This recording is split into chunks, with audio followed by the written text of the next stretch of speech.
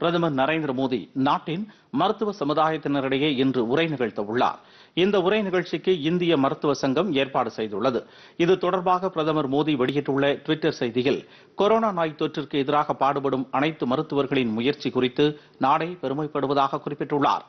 ஜூலை முதல் தேதி தேசிய மருத்துவர்கள் தினமாக கொண்டாடப்படுகிறது என்பதையும் பிரதமர் தமது டுவிட்டர் செய்தியில் நினைவு கூர்ந்துள்ளார்.